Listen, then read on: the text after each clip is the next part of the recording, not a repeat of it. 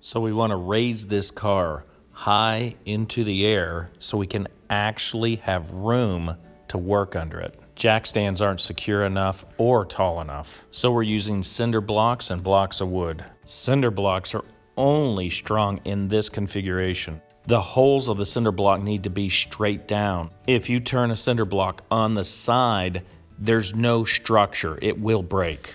This could be a deadly mistake. If you're going to use cinder blocks, you need to understand this concept. We're placing redundant structure in as many places as we can. These cinder blocks are a couple inches away from the frame, but if the car falls, they'll hit this second set of blocks. If you're going to be under the car, you want this type of redundancy.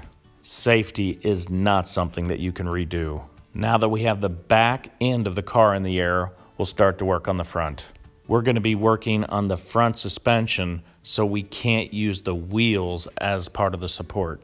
So we're going to have to build structure behind the wheels on the frame.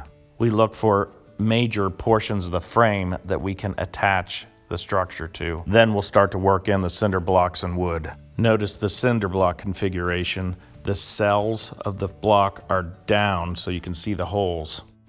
I can't stress this configuration enough. A lot of people have been killed by not having this correct. It would be nice if we could just take two cinder blocks and put it under, but there's a lot of things to consider here. When you stack these blocks up, you wanna make sure that it feels secure. We have to contact the frame, we have to miss the exhaust, and we have to make sure that we avoid the parts that we're going to be removing we're going to be removing a lot of the front suspension.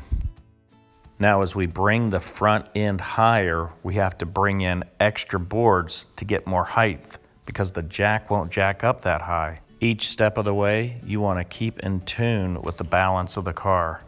Because the jack wasn't rolling enough, we're keeping some pressure with this mallet. We don't want the car to move forward, we want it to move back slightly. When it's in place, you should be able to shake as hard as you want. There's no movement on this car, but there is some movement on the suspension that we're about to replace.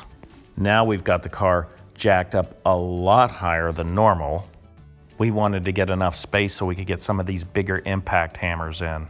A lot of parts need to come off, and this will give us the space. It's nice to actually have room to work. So when you're working under a car, it's extremely important to be careful. So this is how we got our car a lot higher in the air to give us some room. I appreciate your time and thanks for watching.